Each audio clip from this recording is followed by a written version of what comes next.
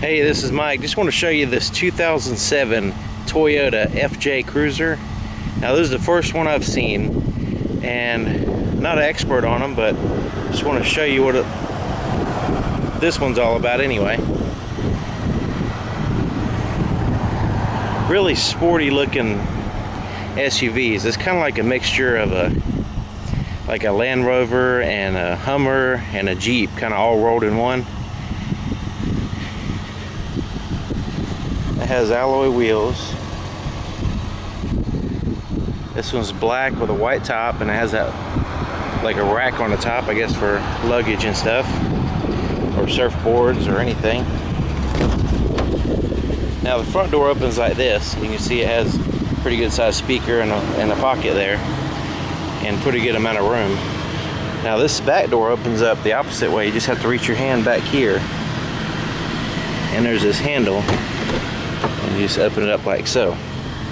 And it kind of like gravity falls down like that. That's how you access the back seats.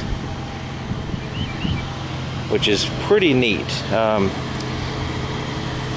I like the way it just kind of it doesn't kind of swing out too far it just kind of hangs out there a little bit. And it just gives you pretty good access here to the back seat and the floor is like a like a vinyl covering.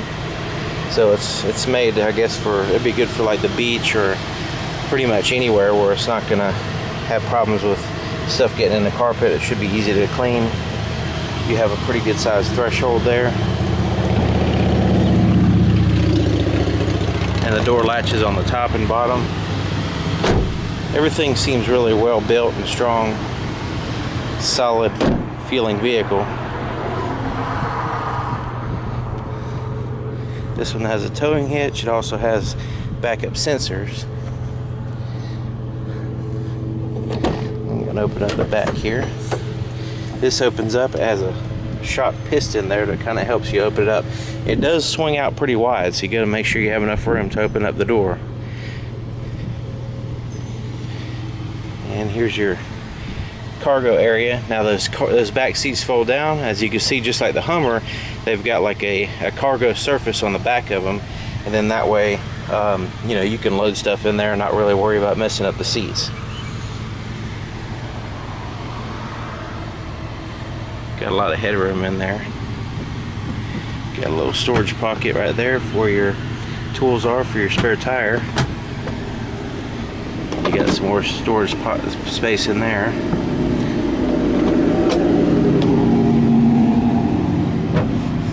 Downs.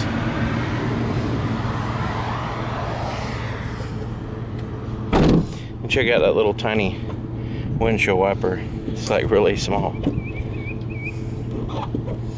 It's like, uh, I don't know, six or seven inches. And then you have the gas cap on the driver's side. And over here, Here's the inside of the driver's door. You got a pocket there, a big speaker. And the same thing on this side. You can open up this door by reaching in and it kind of flops down. Give you an idea what it looks like with the doors open like that.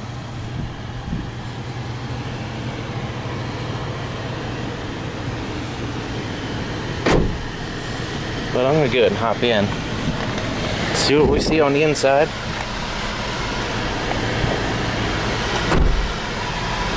Turn the fan down a little bit. Hopefully it won't, it's a very hot day, so I'm gonna have the air conditioner on. Hopefully it won't interfere with the camera too much. But here's the steering wheel. Cruise controls down there. Then you got your turn signal, windshield wipers. It has three windshield wipers. So check it out. There's like three going at one time, three little ones. Thought that was pretty interesting. Never seen that before. And there's your gauges. Pretty easy to read, pretty simple. You know, not too complicated. Radio. It's got the uh, MP3 playing CD player. It also plays MP, um, Windows Media Files. Big dials for the for the climate control. Real easy to read, simple. You can lock the rear differential. Um, parking sensors. You can turn those those on and off. You have one auxiliary in case you want to hook up something. You also have a power supply right here. 12 volt. One cup holder there, pocket there. Shifter's kind of neat. It's kind of like kind of fits your hand. You know, it's kind of slanted. It's not no, like straight up and down. It's kind of slanted. And when you put it in gear like that, it's pretty neat.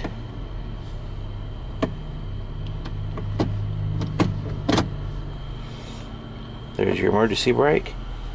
Little pocket there, real shallow one. And there's another cup holder here. Then you got this really big open space for putting junk. Armrests for the driver and passenger on the inside. You also have this neat um, storage bin right here. And uh, put some stuff in there. Now you want to make sure that just like in you know anywhere really in the car that if you put stuff in there it's not going to be heat sensitive so if you put something in there that's gonna you know cause a problem because it gets really hot in the dashboards of cars when the sun's shining directly on them so you want to keep that in mind big glove compartment lots of headroom got a the visor there no mirror on that side got a little tiny mirror on that side really tiny you got your handle there, handle there. I'm gonna take a look underneath the hood. See what's under there. I know there's an engine, but I don't know what it looks like. Okay, it's got the VVT, uh, v V6 Toyota engine. sure it has plenty of power to get around out on the highway, cruising on the highway. You can set the cruise and go up and down hills without any problem, I'm sure.